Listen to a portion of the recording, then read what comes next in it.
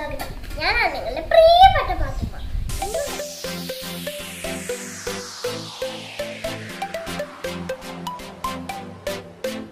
ഇന്ന് നമ്മൾ എന്റെ അമ്മമ്മ ഒരു എണ്ണ ഉണ്ടാക്കാൻ പോവാണ്. അപ്പോൾ അതിനുള്ള സാധനങ്ങളും അത് എങ്ങനെ ഉണ്ടാക്കുമെന്നും നമുക്ക് നോക്കിയാലോ നിങ്ങൾ റെഡിയല്ലേ സാധനങ്ങൾ എന്തൊക്കെയാണെന്ന് എന്റെ അമ്മമ്മ പറഞ്ഞു തരും. അപ്പോൾ നമുക്ക് തുടങ്ങാം. ഇത് എന്തിനുള്ള എണ്ണയാണെന്ന് ചോദിച്ചാൽ പിന്നെ നമ്മുടെ മുഖത്ത് വല്ല പാടുകളോ എന്തെങ്കിലും വന്നിട്ട് മുറി മുറി ഉണ്ടായ പാടുകളോ അല്ലെങ്കിൽ ചിക്കൻ ബോക്സ് ഉണ്ടായ പാടുകളോ ഒക്കെ പോയിട്ട് മുഖം നല്ല നല്ല മിനുസാവും. മുഖത്തിനൊരു പ്രത്യേകതരം തരം ഒരു ഷൈനിങ് ഉണ്ടാവും. അത് നമ്മൾ അത് തേച്ച് ഒരു ഒരു മാസം തേച്ചാൽ അതിന്റെ റിസൾട്ട് കിട്ടും. പിന്നെ എന്താണെന്ന് വെച്ചാൽ സോപ്പ് ഉപയോഗിക്കാൻ പാടില്ല. ആ എണ്ണ തേക്കുമ്പോൾ എണ്ണ തേച്ചിട്ട് ചെറുപയറിന്റെ പൊടിയോ കടലമാവ് പൊടിയും കൊണ്ടോ അത് മെഴുക്ക് ഇളക്കി കളയണം. അതാണ് അതിന്റെ ഇത് ഇതെങ്ങനെ കാച്ചുക നമുക്ക് നോക്കാം. ഇത് സാധനങ്ങൾ എന്താണെന്ന് വെച്ചാൽ ഇത് ഇത് ഞാൻ കാച്ചു നോക്കി എനിക്ക് റിസൾട്ട് കിട്ടിയ എണ്ണയാണ് കേട്ടോ അത് എന്റെ അനുഭവമാണ് പറയുന്നത് ഇതെന്താന്ന് വെച്ചാൽ ഇത് ശീതാരങ്ങയുടെ ഇല. സീതാപ്പഴം എന്ന് പറഞ്ഞിട്ടൊരു പഴമുണ്ട് അതിന് ഇംഗ്ലീഷിൽ കസ്റ്റേർഡ് ആപ്പിൾ എന്നാണ് തോന്നുന്നു പറയുക. അതിന്റെ ഇല. പിന്നെ ഇത് പ്ലാവില. ഇത് അടയ്ക്കാപ്പഴം. അടയ്ക്കാപ്പഴം എന്ന് പറഞ്ഞാൽ പേരയ്ക്ക. പേരയ്ക്കയുടെ ഇല. പിന്നെ ഇത് മാവിന്റെ തളിര്. ഇതിന്റെയൊക്കെ തളിര് വേണം കേട്ടോ. അല്ലാണ്ട് പിന്നെ മൂത്തത് പറ്റില്ല. ഇത് ഇത് കണ്ടോ? ഇത് മാവിന്റെ തളിരാണ്. ഇത് മുഞ്ഞയുടെ ഇല. ഈ ഇല എന്താ ചോദിച്ചാൽ ചെറിയ കുട്ടികളെ പ്രസവിച്ച് ഉള്ള കുട്ടികൾക്ക് ഈ മുഞ്ഞയുടെ ഇല കൂട്ടിയിട്ട് കുട്ടികളെ തേക്കും തേക്കണ ചെറുപയർ പൊടിയുടെ ഇടയിൽ ഉള്ളിലോ കടലമാവ് പൊടിയോ വെച്ചിട്ട് ഈ മുഞ്ഞയുടെ ഇല അരച്ചിട്ട് തേച്ച കുട്ടികൾക്ക് നല്ലതാണ്. കാരണം കുട്ടികൾക്ക് എന്തെങ്കിലും എന്താ പറയുക അതിനെ കണ്ടിട്ട് ഒരു ശാസ്ത്രീയ വശം എന്താണെന്ന് വെച്ചാൽ കുട്ടികളുടെ ശരീരത്തിൽ വേറെ എന്തെങ്കിലും രോഗാണുക്കളൊന്നും എന്തെങ്കിലും വരില്ല. അതിന്റെ നശീകരണത്തിനുള്ളതാണ് മുഞ്ഞടല പക്ഷേ പറയുക എന്താണെന്ന് വെച്ചാൽ കുട്ടികളെ കണ്ടിട്ട് കണ്ണ് തട്ട് എന്തെങ്കിലും ചെയ്താൽ ഈ മുഞ്ഞടലയും കൊണ്ട് തേച്ചാൽ അത് കണ്ണ് തട്ടില്ല എന്നാണ് പറയുക. പക്ഷേ എന്റെ ശാസ്ത്രീയ വശം എന്താണ്? രോഗാണു ആരെങ്കിലും കാണാൻ വരിക. അപ്പോൾ അങ്ങനെ എന്തെങ്കിലും രോഗബീജങ്ങൾ കുട്ടികളുടെ മേലുണ്ടാവാൻ പാടില്ല എന്ന് പറഞ്ഞിട്ട് അതിനാണ് ഈ മുഞ്ഞൾ ഇത് നമ്മുടെ പച്ചമഞ്ഞൾ. പച്ചമഞ്ഞൾ എന്തായാലും രോഗാണുനാശിനിയാണല്ലോ ഇത് ആര്യവേപ്പിന്റെ ഇല. ആര്യവേപ്പിന്റെ ഇല എന്തായാലും രോഗാണുനാശിനിയാണ് അത് നമുക്ക് എല്ലാവർക്കും അറിയുന്നൊരു കാര്യമാണ്. പിന്നെ ഇത് കറ്റാർവാഴ. കണ്ടില്ലേ അലോവേര എന്ന് പറയുന്ന കറ്റാർവാഴ. ഇത് ചെമ്പരത്തിയുടെ പൂവ്. അപ്പോൾ നമുക്ക് വേണ്ട സാധനങ്ങൾ ഞാൻ ഒന്നും കൂടി പറഞ്ഞുതരാം. ഇതാണ് വേപ്പില ആര്യ വേപ്പിന്റെ ഇല നീം ലീവ്സ് അത് നമ്മുടെ ചുറ്റുവട്ടത്തൊക്കെ കിട്ടുന്നതാണ്. പിന്നെ ഇത് പേരയില. അതായത് അടയ്ക്കാപ്പഴം പേരയ്ക്ക എന്നൊക്കെ പറയുന്ന അതിന്റെ ഇല ഗ്വാവ ലീവ്സ് പിന്നെ അടുത്തത് വന്നിട്ട് സീതാരങ്ങയുടെ സീതാപ്പഴത്തിന്റെ ഇല. അതാണ് കസ്റ്റഡ് ആപ്പിൾ എന്ന് പറഞ്ഞത്. കസ്റ്റഡ് ആപ്പിളിന്റെ ഇല. പിന്നെ ഇതൊക്കെ നമുക്ക് ചെറിയ തളിരിലകൾ വേണം. മൂത്ത ഇലകളല്ല എല്ലാത്തിനെയും തളിരിലകളാണ് വേണ്ടത്. പിന്നെ നമ്മൾക്ക് എല്ലാവർക്കും ഈസിയായിട്ട് കിട്ടാവുന്ന ഒരു സാധനമാണ് മാംഗോ ലീവ്സ് മാവിന്റെ ഇല. ഇതെല്ലാവർക്കും കുറച്ചുകൂടി ഈസി ആയിട്ട് കിട്ടുന്നുണ്ടാവും. സീതാരങ്ങയുടെ കിലയും കിട്ടാൻ ബുദ്ധിമുട്ട്. പിന്നെ അടുത്ത സാധനമാണ് കറ്റാർ വാഴ. കറ്റാർ വാഴയും ഇപ്പോൾ ഒരുവിധം വീടുകളിലൊക്കെ അതിന്റെ ഗുണങ്ങളൊക്കെ അറിഞ്ഞുകൊണ്ട് എല്ലാവരും വീട്ടിൽ വളർത്തുന്നുണ്ടെന്ന് അറിയാം. പിന്നെ ചെമ്പരത്തി പൂവ്. ചുവന്ന ചെമ്പരത്തി അഞ്ച് ഇതൾ ചെമ്പരത്തി ചുവന്ന പൂവിന്റെ തന്നെ അത് ആ പൂവ് തന്നെയാണ് വേണ്ടത്. അതുകൊണ്ട് സാധാരണ ഹൈബ്രിഡ് ആയിട്ടുള്ള ചെമ്പരത്തി ഒന്നുമല്ല. നല്ല ചുവന്ന ചെമ്പരത്തിയുടെ പൂവ്. പിന്നെ ഇത് പ്ലാവിന്റെ ഇലയാണ്. ജാക്ക് ഫ്രൂട്ടിന്റെ ലീവ്സ് ഇതും തളിരിലയാണ് കണ്ടോ? നല്ല തളിരായിട്ടുള്ളൊരു ഇലയാണ് എടുത്തിട്ടുള്ളത്. പിന്നെ, അടുത്ത ഇല എന്ന് പറയുന്നത് മുഞ്ഞട ഇല.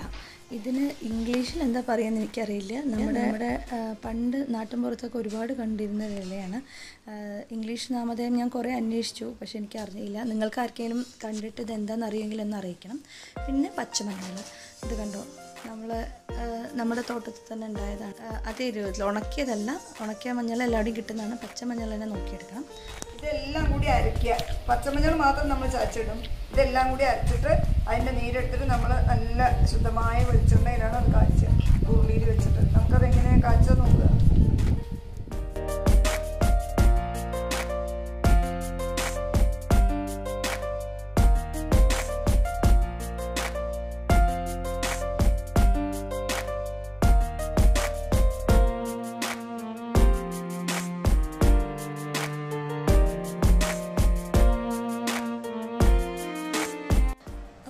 എണ്ണ കാച്ചിയെടുക്കാൻ പോകുന്നത് പരമ്പരാഗതമായ രീതിയിലുള്ള അടുപ്പിലാണ്.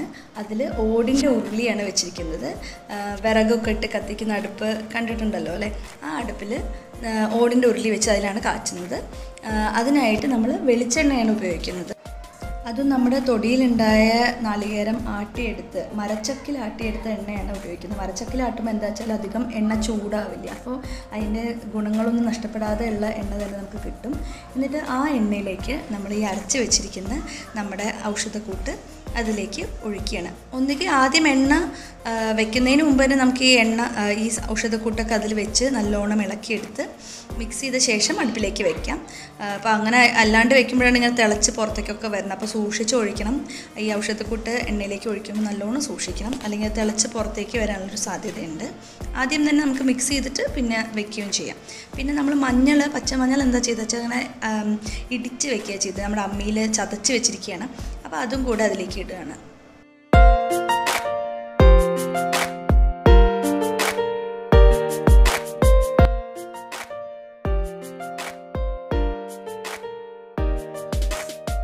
നമ്മൾ ഈ ആലോവേര അങ്ങനെ കറ്റാർവാഴ അങ്ങനെ ചെത്തി ചെത്തി ഇടുക.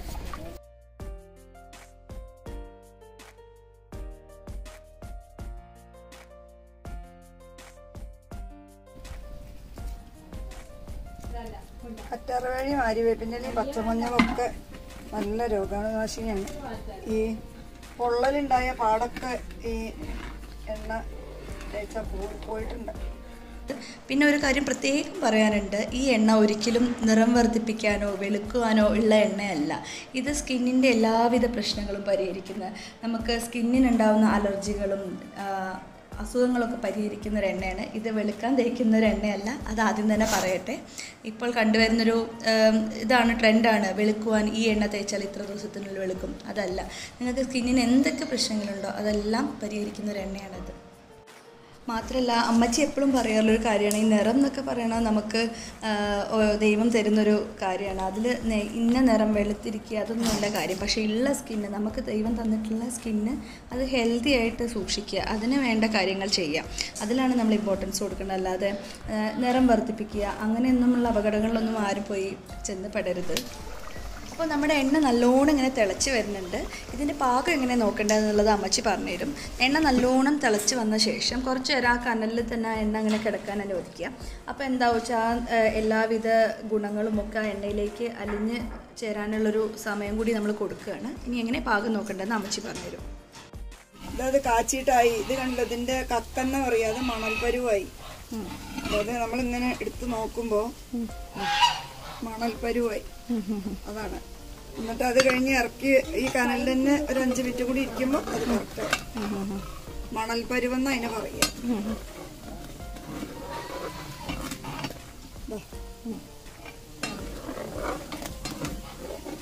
ഇനി ഇന്ന് ഉരുളിയിൽ ഇത് ഇന്ന് വൈ- നാളെ രാവിലെ വരെ ഇത് തന്നെ ഇരിക്കണം എണ്ണ. നാളെ രാവിലെയാണ് അത് ആയിരിക്കുള്ളൂ. പണ്ടൊക്കെ അരിക്കാൻ നമ്മുടെ ആ, എടുക്കുക കൂട്ടുകാരെ ഇന്നത്തെ വീഡിയോയിലൂടെ ഞങ്ങൾക്ക് വേറൊരു സർപ്രൈസ് കൂട്ടുന്നുണ്ട് നമ്മളൊരു പുതിയ തരം അരിപ്പയാണ് ഉണ്ടാക്കുന്നത് പുതിയതെന്ന് പറയുമ്പോൾ ന്യൂജൻ അരിപ്പയല്ല. പണ്ട് കാലത്ത് നമ്മുടെ അമ്മമ്മമാരും മുത്തശ്ശിമാരൊക്കെ ഉപയോഗിച്ചിരുന്ന തരത്തിലുള്ള ഒരു അരിപ്പയാണ്. നമ്മളിപ്പോൾ കണ്ടിട്ടുള്ള എന്തൊക്കെയാ സ്റ്റീലിന്റെ അല്ലെങ്കിൽ പ്ലാസ്റ്റിക്കിന്റെ ഒക്കെ അരിപ്പല്ലേ കണ്ടിട്ടുള്ളത്. പക്ഷെ അമ്മച്ചി പറഞ്ഞു നിനക്കൊരു പഴയ തരം അരിപ്പ ഞാൻ പരിചയപ്പെടുത്തി തരാം.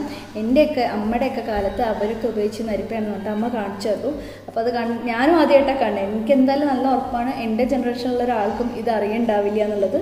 പക്ഷേങ്കിൽ നിങ്ങളുടെ അമ്മമാർക്കോ അല്ലെങ്കിൽ അമ്മമ്മമാർക്കൊക്കെ ഇതൊന്ന് കാണിച്ചു കൊടുത്തു നോക്കുക അവർ ചിലപ്പോൾ കണ്ടിട്ടുണ്ടാവും. ചോദിച്ചു നോക്കി നോക്കൂ. അവർക്ക് ഇതൊക്കെ അറിയുമോ എന്നുള്ളത്. അപ്പോൾ നമുക്ക് നോക്കി നോക്കാം. ഇത് ഏതാണ്? ആ അരിപ്പ എന്നുള്ളത് നമുക്ക് നോക്കിയിട്ട് വരാം. അപ്പോൾ ഇതാണ് ഞാൻ പറഞ്ഞ സ്പെഷ്യൽ അരിപ്പ. പണ്ട് കാലത്തുള്ള ആൾക്കാർ ഉപയോഗിച്ചിരുന്ന പോലത്തെ അരിപ്പ. ഇതെന്താ വെച്ചാൽ തേങ്ങ കൊലയായിട്ട് നിൽക്കുന്ന ഭാഗത്ത് കണ്ടിട്ടുണ്ടാവും. ശ്രദ്ധിച്ചു നോക്കിയവർക്കൊക്കെ മനസ്സിലാവും. അതാണ് നമ്മുടെ അരിപ്പയായിട്ട് ഉപയോഗിക്കാൻ പോണ് അപ്പോൾ പണ്ട് കാലത്തുള്ള അതേ സാധനം തന്നെ ഉപയോഗിക്കാമെന്ന് പറഞ്ഞിട്ട് അമ്മച്ചി നിങ്ങൾക്ക് എല്ലാവർക്കും വേണ്ടി കാണിച്ചു തരാണ്. അപ്പോൾ അതിലേക്ക് നമ്മളിങ്ങനെ ആ, എണ്ണ നമ്മൾ ഉച്ചയ്ക്ക് കാച്ചിയ എണ്ണയാണ് കുറച്ച് നേരം കൂടി ആ കനലിൽ തന്നെ ഇരിക്കാൻ വേണ്ടിയിട്ട് വെച്ചിരുന്നു. അപ്പോൾ നല്ലോണം എല്ലാ മരുന്നുകളും ഒക്കെ ആ എണ്ണയിൽ നല്ലോണം പറ്റി പിടിച്ച ശേഷം ഇപ്പോൾ അത് അരിച്ചെടുക്കുകയാണ്.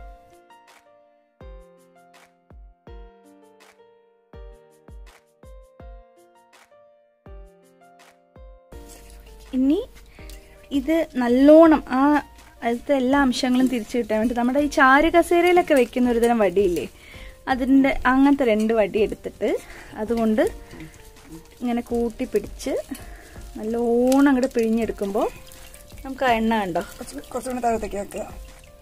കുറച്ചുകൂടി നല്ലോണം ഇറ്റ് വീഴുന്നുണ്ടോ ആ ചാരുകസേരയുടെ വടിയാണിത്. അത് രണ്ട് വടി കൊണ്ട് ഇങ്ങനെ അമർത്തി പിടിക്കുമ്പോൾ കിട്ടുന്നതാണ്.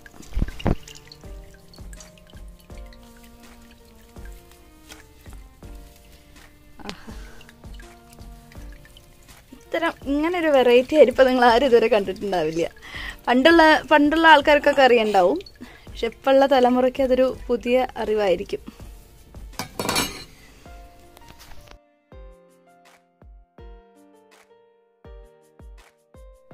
അപ്പോൾ കൂട്ടുകാരെ നമ്മളിതൊരു ചില്ലുകുപ്പിയിലേക്ക് ഒഴിച്ചു വെച്ചിരിക്കുകയാണ്. അപ്പോൾ അമ്മ പറയുന്നത് എന്താ വെച്ചാൽ പ്ലാസ്റ്റിക് കുപ്പിയിലാക്കരുത്. ചില്ല് കുപ്പിയിൽ തന്നെ ആക്കി വെക്കണം. എന്നാലേ അതിന്റെ ആ ഗുണങ്ങൾ അതേപോലെ നിലനിൽക്കുള്ളൂ. പ്ലാസ്റ്റിക് കുപ്പിയിലാക്കരുതെന്നാണ് പറയണത്. അപ്പോൾ നിങ്ങളെല്ലാവരും ഇത് ട്രൈ ചെയ്ത് നോക്കൂ. ഒരു ആറ് മാസം പ്രായം കഴിഞ്ഞ കുട്ടികൾക്ക് മുതൽ എല്ലാവർക്കും ഉപയോഗിക്കാവുന്നതാണ്. ഈ ചെറി ചെരങ്ങ് അങ്ങനെ കുറേ സ്കിൻ അലർജീസ് ഒക്കെ ഉണ്ടാവില്ലേ? അതിനൊക്കെ വളരെ നല്ല മാറ്റം ഉണ്ടാവുന്ന ഒരു കാര്യമാണിത്. എനിക്ക് ഒരു തവണ സൺബേൺ കാരണം സൂര്യാഘാതം ഏറ്റിട്ട് കയ്യിലും ഒക്കെ നല്ലൊരു വലിയൊരു ഇങ്ങനെ തിണർപ്പ് പോലെ നെറ്റിയിലും ഒക്കെ ഉണ്ടായി. എന്നിട്ട് സ്കിൻ ഇങ്ങനെ അടർന്ന് പോകുന്നൊരു അവസ്ഥ ഉണ്ടായി ആ സൺബേൺ കാരണം. എന്നിട്ട് ഡോക്ടറെ അടുത്തൊക്കെ പോയിട്ട് അതിന്റെ മരുന്നൊക്കെ കഴിച്ചു നോക്കിയതാണ്. തേച്ചും ഒക്കെ നോക്കിയതാണ്. പക്ഷേങ്കിൽ ആ ഒരു പഴയ രീതിയിലേക്ക് സ്കിന്ന് കിട്ടുന്നേ ഉണ്ടായിരുന്നില്ലായിരുന്നു. അപ്പോഴാണ് വെറുതെ നമുക്ക് മുറ്റത്തെ മുല്ലയ്ക്ക് മണമില്ല എന്ന് പറയില്ലേ അതുപോലെയാണ്. അപ്പോൾ വീട്ടിലുണ്ടായിരുന്ന ഒരു എണ്ണ കുപ്പിയിൽ അമ്മ കൊടുത്തയച്ച എണ്ണ ഉണ്ടായിരുന്നു. പക്ഷെ അത് ഞാൻ അതുവരെ തേച്ച് നോക്കിയിരുന്നില്ല. ഇങ്ങനെ എല്ലാം പരീക്ഷിച്ച് മടുത്തിരിക്കുന്ന ഒരു അവസ്ഥയിലാണ് ഞാൻ ആ എണ്ണയിലേക്ക് എത്തുന്നത്. അങ്ങനെ ആ എണ്ണ തേച്ച് നോക്കിയപ്പോൾ രണ്ട് ദിവസം കൊണ്ട് തന്നെ നിങ്ങൾ പറഞ്ഞ വിശ്വസിക്കില്ല രണ്ട് ദിവസം കൊണ്ട് തന്നെ എന്റെ മുഖത്ത് നല്ലൊരു വ്യത്യാസം അറിഞ്ഞു തുടങ്ങിയിരുന്നു. ആ പാടുകളും കലകളും ഒക്കെ മാറിയിട്ട് വീണ്ടും ആ ഒരു ഗ്ലോ കിട്ടുന്ന അവസ്ഥയിലേക്ക് എത്തിയിരുന്നു. അപ്പോൾ അതുകൊണ്ട് ഞാൻ പേഴ്സണലി അനുഭവിച്ചതായതുകൊണ്ടാണ് നിങ്ങൾക്കും കൂടി ഇത് പകരാമെന്ന് വിചാരിച്ചത്. അപ്പോൾ എല്ലാവരും ട്രൈ ചെയ്ത് നോക്കുക. ഇതൊക്കെ നമ്മുടെ ചുറ്റുവട്ടത്തും കിട്ടുന്ന ഇലകളും സാധനങ്ങളൊക്കെയാണ്. പക്ഷെ പറ്റുന്നതും പച്ചമഞ്ഞളും ഒക്കെ ഉപയോഗിച്ച് ചെയ്യാൻ നോക്കുക. അങ്ങനെ ചെയ്താൽ എന്തായാലും റിസൾട്ട് ഉറപ്പാണ് കേട്ടോ. റിസൾട്ട് എന്ന് പറഞ്ഞാൽ നിറം വയ്ക്കുക എന്നുള്ളതല്ലല്ലോ നമ്മളൊരു എന്താ പറയുക സ്കിന്നിനെ സംരക്ഷിക്കുക എന്നുള്ളതല്ലേ? അതായത് അതിലുണ്ടാകുന്ന കേടുപാടുകൾ സ്കിന്നിനുണ്ടാകുന്ന ഡൾനെസ് അതൊക്കെ ഒന്ന് മാറ്റിയെടുക്കുക എന്നുള്ളതല്ലേ? അല്ലാണ്ട് നിറം വയ്ക്കുക എന്നല്ല ഈ ഒരു എണ്ണ കൊണ്ട് ഉദ്ദേശിക്കുന്നത് നമുക്ക് ഉണ്ടാവുന്ന ഇങ്ങനത്തെ ചെറിയ ചെറിയ ചർമ്മ രോഗങ്ങളും ഒക്കെ പരിഹരിക്കാൻ വളരെ ഹെൽപ്ഫുള്ളാണ് ഈ എണ്ണ. എന്റെ പേഴ്സണൽ ഒപ്പീനിയനാണ് എല്ലാവരും ഒന്ന് ട്രൈ ചെയ്ത് നോക്കുക കേട്ടോ. Thank you by